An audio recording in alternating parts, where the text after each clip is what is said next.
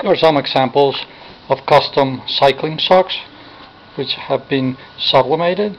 So that allows for a very cool design that is going to cover the whole length of the sock. And also because it's sublimated the colors will never fade.